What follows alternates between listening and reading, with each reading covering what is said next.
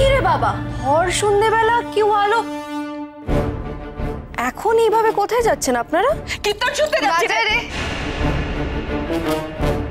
এই রে দুজনে দু রকম বলে ফেললাম যে রনু না আবার চেপে ধরে।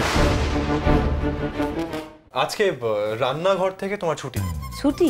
আজকে রাতের রান্না রানু করবে। হ্যাঁ? কিছু একটা করুন যাতে রানু যেই টাকাটা দেবে জমিটা কেনার জন্য সেটা যাতে আমাদের হাতে চলে আসে। মানে রানু ভাববে জমিটা সে কিনে ফেলেছে কিন্তু টাকাটা পুরো আমাদের কোচরে চলে আসবে। কীরকম শর্ট নোটিসে আপনাকে জমি দেখিয়ে দিচ্ছি বলুন? সাদে স্কুলের জমি। আমি পিপি প্রদীপ পোদ্দার। এই সব জমি আমারই। নকল মালিক এই জমিটা বেচে দিয়ে তোমার থেকে টাকা হাতাবে। আর আমি তোমাকে ঠকিয়ে রানু সেই অপমানের বদলাটা নেব। পরশুই আমাকে আমেরিকা ফিরতে হবে। তার আগে আমি জমিটা সেল করে দিতে চাই। মানে আমাদের হাতে তো শুধু একদিন বাকি। এক হাতে দলিল নেবেন আরেক হাতে টাকা দেবেন। প্রদীপ দা দলিলটা দিন দেখি। না না, দাঁড়ান। এরকম ভাবে টাকা দেওয়া যায় নাকি? জমি কেনার অনেক ফর্মালিটি আছে। দলিলটা আগে উকিলের কাছে নিয়ে গিয়ে সব ভেরিফাই করাবো। তারপরে তো টাকা। দিন দলিলের কপিটা দিন। আমি আর স্যার দুজনে পুরো পাশাপাশি। উফ কি বলব? গাড়ি থেকে নামার সময় কাটসি দেখিয়ে স্যার আগে নামলেন তারপর না আমাকে হাত বাড়িয়ে দিলেন। হাত ধরে নামালেন। কোথায়? কোথায় উনি হ্যাঁ? কোথায় উনি? আজ আমি একটা রেস্তোরেন্ট করেই ছাড় এই গেট আপ ওঠো উঠে দাঁড়াও। কি হলো? কথা কানে যাচ্ছে না। তুমি তো ফার্স্ট ইয়ার সিনিয়রদের দেখলে যে উঠে দাঁড়াতে হয় জানো না?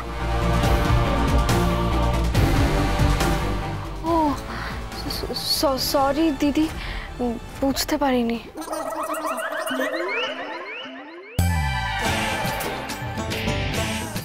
দিদি হোয়াট দ্য হেল এই কলেজে না এইসব দিদি ফিদি চলে না। কোত্থেকে এসেছে?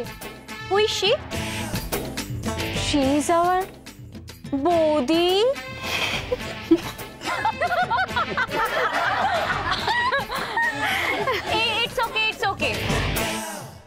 বাই দ্য ওয়ে যে কারণে আমরা এসেছিলাম। এই শুভ, বল না। আচ্ছা যে কারণের জন্য তোমাদের এখানে আসা, সেটা হচ্ছে যে তোমাদের জন্য ফ্রেশার্স ওয়েলকাম হবে। আর সেখানে তোমাদের ক্লাস থেকে একটা ইংলিশ প্লে হবে। সেই প্লেতে তোমরা সবাই পারফর্ম করবে। বাট এখানেই শেষ নয়। আইডিয়া করো তো এই প্লেটা কে ডিরেকশন দেবে। গেস গেস হু গেস কে দিচ্ছেন ডিরেকশন আমাদের DM sir Dhruba Mitra.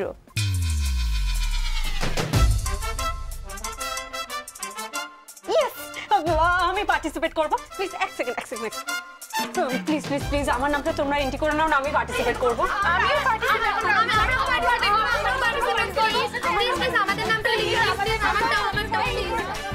কি কাণ্ড? সবাই তো প্রাণনাথের আন্ডারে নাটকে পার্টিসিপেট করবে বলে পাগল হয়ে যাচ্ছে দেখছি। না না না, সবাই যখন করছে, আমিও পার্টিসিপেট করব। আমিও পার্টিসিপেট করব। আমার নামটা একটা এন্ট্রি করে নাও না গো।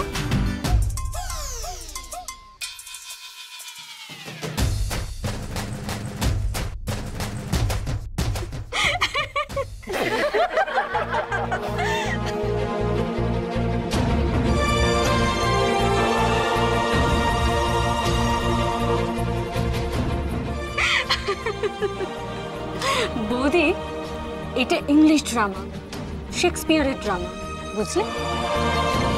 এটা সবার জন্য নয়।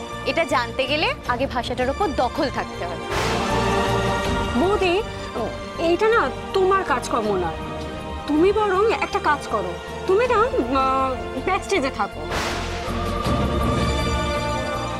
কারণ এই এত ভারী ভারী ইংলিশ ওয়ার্ড প্রোনাউন্স করতে গিয়ে তুমি তো ঘাম চটে যাবে। ইনফ্যাক্ট তোমার দাঁতও খুলে যেতে পারে। আচ্ছা বলো, এই একটা ইংলিশ জামা করতে এসে যদি তুমি ফোকলা হয়ে যাও, তোমাকে কি ভালো দেখাবে? বৌদি?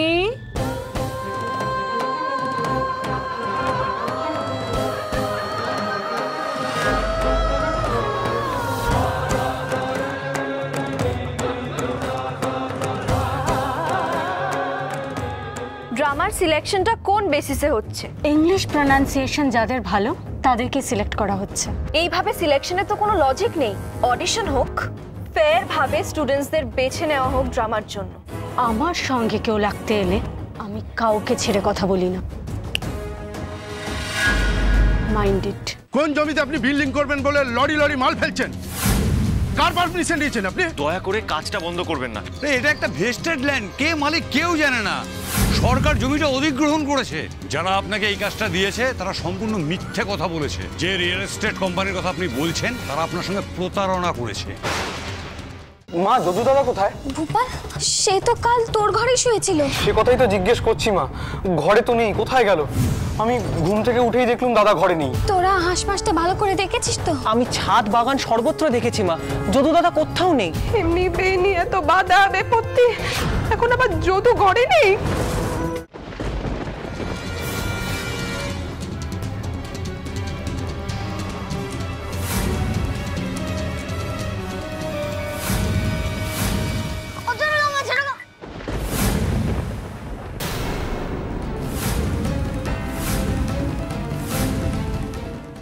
কাকে দেখলাম আমি ওই জলে।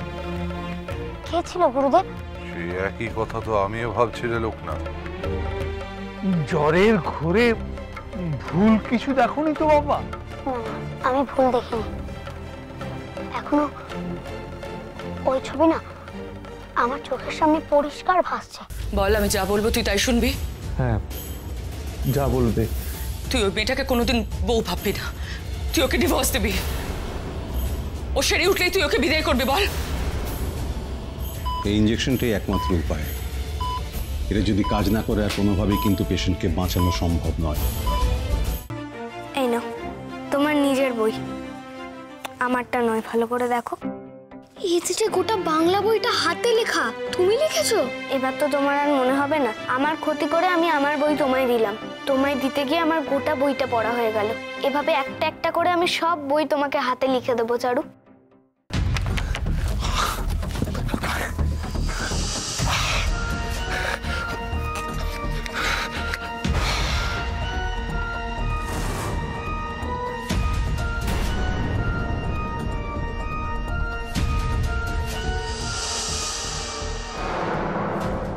হাজি ইকবাল মামা স্মরণ সভায় আমরা কিছু শপথ বাক্য পাঠ করব বলে আপনাদেরকে এখানে ডেকেছি। আমার রঞ্জা পিসি কথা বলার মতো অবস্থায় নেই। কিন্তু রঞ্জা পিসির মনের কথাগুলো আমি জানি। তাই রঞ্জা পিসির কথাগুলো আমি আপনাদেরকে বলতে চাই। তার মানে ভানুর জন্য মেঘমালা চাপাদার নামে নকল ভোটার আইডি আর পাসপোর্ট বানানো হয়েছিল। আমি তোর এগেনস্টে এফআইআর করব। মেঘ এসিপি ওকে এক্ষুনি থানায় নিয়ে চলো। দাঁড়ান।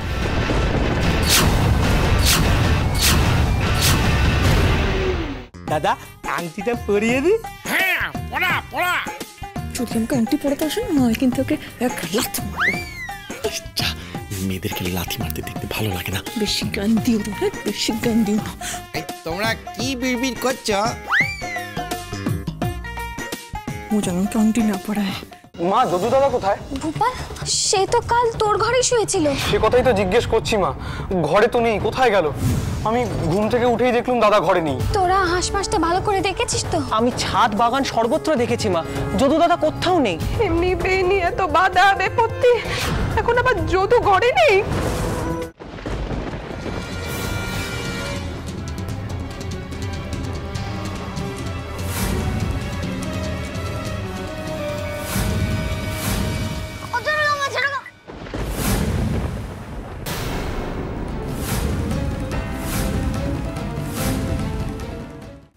আমি ওই জলে কে ছিল গুরুদেব? সেই একই কথা তো আমিও ভাবছি রে লোকনাথ। জ্বরের ঘোরে ভুল কিছু দেখোনি তো বাবা? না, আমি ভুল দেখিনি। এখনও ওই ছবি না আমার চোখের সামনে পরিষ্কার ভাসছে। বল আমি যা বলব তুই তাই শুনবি? হ্যাঁ যা বলবে। তুই ওই মেয়েটাকে কোনোদিন বউ ভাববি না। তুই ওকে ডিভোর্স দিবি। ও সেরে উঠলেই তুই ওকে বিদায় করবি, বল। এই ইঞ্জেকশনটাই একমাত্র উপায়। এটা যদি কাজ না করে আর কোনোভাবেই কিন্তু পেশেন্টকে বাঁচানো সম্ভব নয়।